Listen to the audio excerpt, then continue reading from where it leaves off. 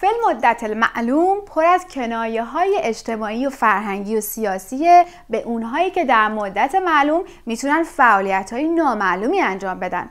گیج شدید. آره نگران نباشید. چون این فقط شما نیستید که با تماشای این فیلم گیج میشید. بلکه سید محسن جاهد تهیه کننده این فیلم هم شما رو با توضیحی که در مورد فیلم داده گیجتر می‌کنه.